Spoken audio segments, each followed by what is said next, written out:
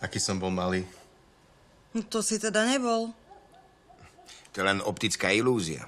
Maminé veľké prsia menia perspektívu. Pako. Mal si 3,8 kila. A to je veľa? Tak nie je to málo. No každopádne toto bola jedna z najkrajších chvíľ v mojom živote. A prečo?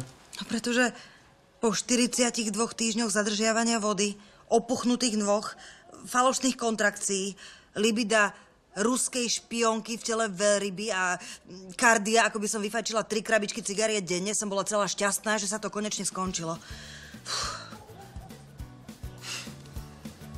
No, a tiež som bola šťastná, že si prišiel na svet. Ja som ťa ľúbil hneď. Oci. Synček.